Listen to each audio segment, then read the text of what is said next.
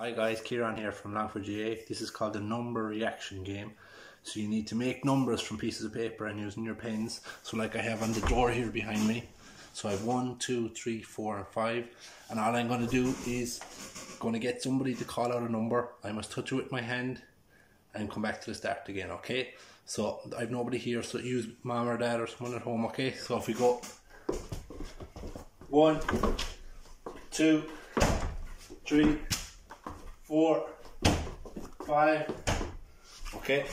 Now the other hand.